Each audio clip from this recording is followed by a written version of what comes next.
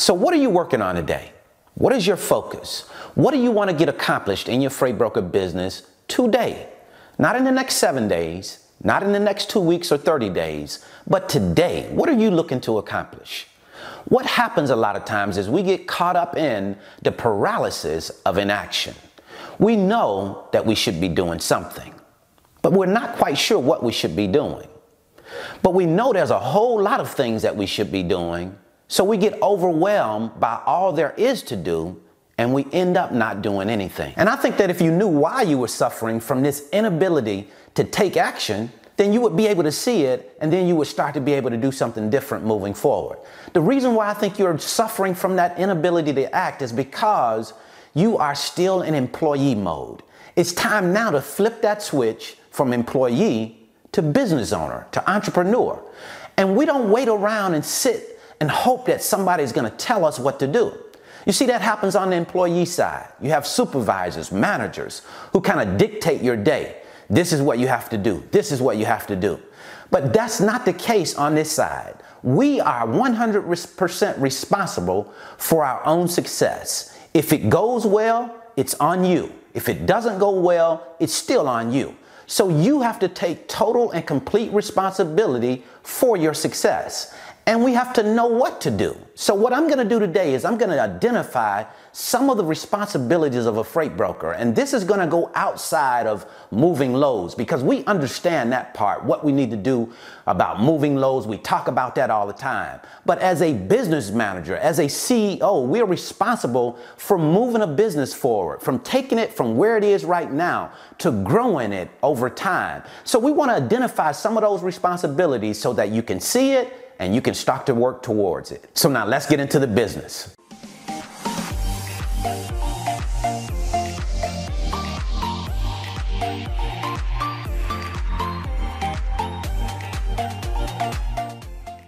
All right, so first let's deal with this I don't know. Now we know we hear this all the time. Think about it when children are in school and they are asked a question by the teacher and they really don't want to provide the answer. They may know the answer, but they'll say, I don't know. I don't know. You ask them a question, I don't know. Now, they may very well know the answer, but they may not have the courage to give the answer. They may be afraid that they, if, if they give the wrong answer, they be, may be ridiculed in some type of way. So they use I don't know to absolve themselves of responsibility, to get that responsibility off of them and put it somewhere else. So when you say, I don't know something, I'm not doing something because I don't know, we have to look at that and really examine that. Because let's think about it. We're not children. So we can't conduct ourselves as children. And as entrepreneurs, we want the responsibility. We are not trying to, you know, relieve ourselves of responsibility. We want to accept the responsibility of whatever it is that comes, especially as it involves our business. So we want to get rid of this idea, this response, get this response out of our vocabulary that I don't know. Because if I don't know something, now don't get me wrong, I'm not willing or unwilling to say that I don't know something. If I don't know, then of course I don't know. And if I don't know something, then I have the mind, the energy, the spirit to want to know the things that I need to know. We cannot use the excuse of I don't know as being the reason why I'm not doing the key things, the big things that I need to do in my business. Even the small things, because they, of course, lead us to the bigger things. So we have to have that spirit about ourselves to say, hey, if I don't know something, I have to go out and find out what I don't know that I need to know. That's imperative. You cannot build a successful business if you don't do that. So we have to throw this thing away about I don't know. Because if you don't know, that's a good place to start knowing, to start gaining knowledge around what it is that you don't know. Because entrepreneurs know this for certain. If they don't know, they are going to try and figure it out. That's just how the cookie crumbles. That's how we get from point A to point B. That's how we advance our business is, is basically saying, I don't know now, but I'm going to make sure that I get what is necessary for me to know because it's required for me to know these things in order for me to be successful. And I want to reiterate this one point. I'm not saying that you should be a know it all and act as if you know everything because there are some things that you're not going to know. You're not going to have all of the answers. But when we don't have the answers, it's okay to admit, hey, I don't have the answer to that question, but I'll make sure that I go out and find the answer. Because as a business owner, you cannot afford to say, I don't know. There's too many things that you're responsible for, and just saying I don't know does not get the job done. You have to go out and figure out what it is that you don't know. So that's all I'm saying there. Not encouraging you to be a know it all, but I am encouraging you to be one who figures it out when you don't know something. So now we're going to switch gears and I'm going to show you some of the responsibilities that the freight broker has on a day in and day out basis. You see, sometimes we think that the freight broker is only focused on his core responsibility of moving loads, bringing on customers, and building our freight broker business in that way. And yes, that is one of our core responsibilities, but it's not the only responsibility. You see, the freight broker wears a whole lot of different hats. And we have to understand what our responsibilities are. So I'm going to show you in this video right now some of those hats that we wear so that you are aware of what your responsibilities will be. This is not meant to overwhelm you. It's not meant to make it seem as if it's bigger than what it is. It's simply meant to inform you so that you are aware of your responsibilities. And if you don't know some of those things that you need to be doing, then you can start learning what those things are and become proficient because you don't have to be an expert at these things. You just have to know something about them. You have to know about it and be willing to learn more about it so that you can become better at it. All right, so a freight broker is a tax strategist. You don't pay thousands and thousands of dollars in taxes every year, every month, and not have some proficiency about taxes. You see, I pay Social Security, Medicare, which is called self employment tax. I pay federal tax, state tax, quarterly tax. So you don't pay all of these different taxes. And I mean thousands and thousands of dollars, especially on quarter, quarterly tax, every quarter. You don't pay all of this money in taxes and not have a plan, not learn about the money that you're paying? And then how can I decrease the money that I'm paying in taxes? So it just makes sense that you're going to become knowledgeable about taxes. But when you first start off, you're probably going to be like me. You're not going to have a clue. Your CPA is saying all of these different terms, all of these different taxes, 15.3% on self-employment tax. And what self-employment tax is broken down into is Social Security and Medicare tax. And you don't have to pay that 15.3% if, in fact, you have a S corporation. At least you don't have to pay it on your overall earnings, you'll just pay it on your W 2 pay. So there's a lot of different things about taxes, the tax structure for your business, how that you, how of course you can get the best you know, tax rates for the business that you're running. You're going to need to know all of this stuff. You're going to need to have some idea of how it works because yes, your CPA is going to guide you and they're going to give you information, but in order for you to understand the information, you have to go in and study that information on your own. Your CPA is not going to give you a crash course and sit you down and say, okay, this is what this means, this is what that means. Not in most cases. He doesn't have time to do that. He's going to give you the information and then he's going to expect that you are going to go in and dig down in it to understand it. I think there's a proverb that says, In all thy getting, get wisdom. So we know that wisdom is very important. But here's the other part that it says it says, If it costs you all you have, get understanding.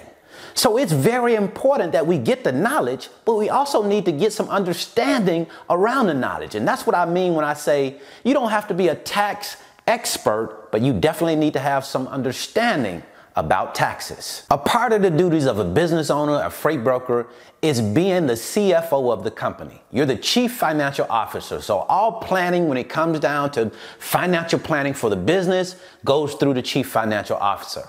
He'll also make decisions as it pertains to tracking and analyzing the financial strength and weaknesses of the company. So we are as CFOs overall responsible for the financial well-being, the financial health of the company. Now, I want you to think about something.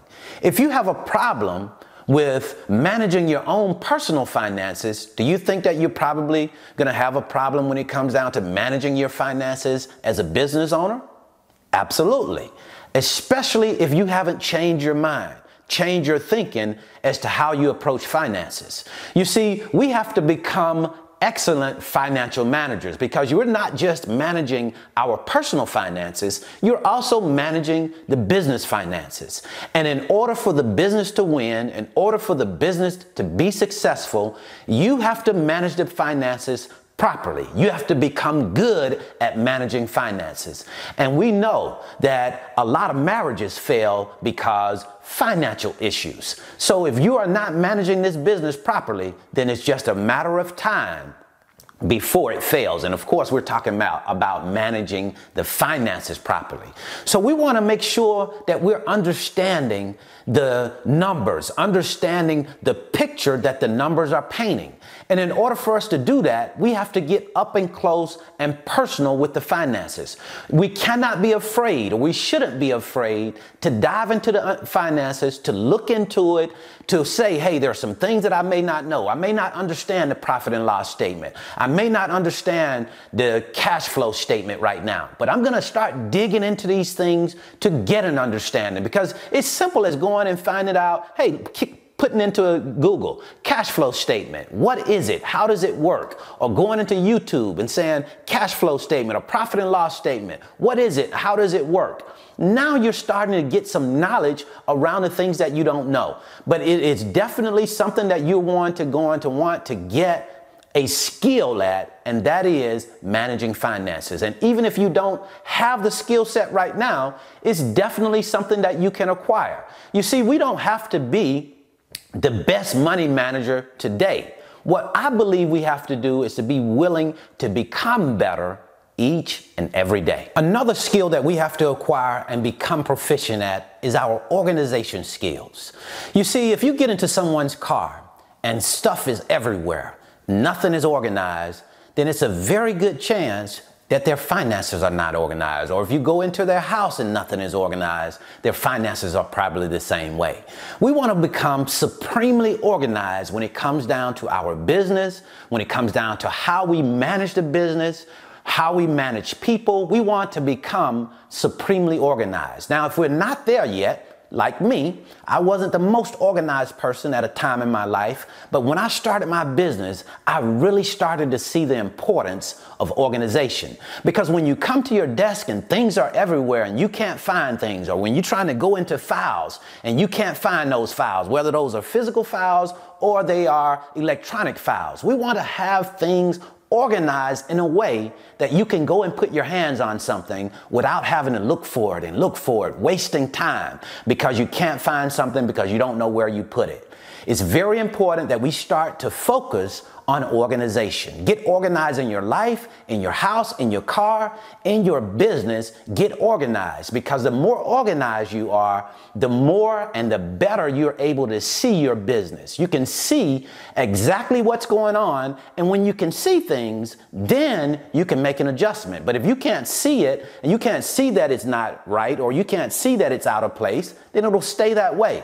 But once we put this thing and we get it into focus, then we can make the adjustments that are necessary and become the organized business owner that we need to become in order to be successful. Okay, next we want to become an investor as a business owner. You see, we are not just about making money. Our responsibility, yes, has to do with making money as business owners, but we also have to have the ability to grow money. And how do you grow money is through investing.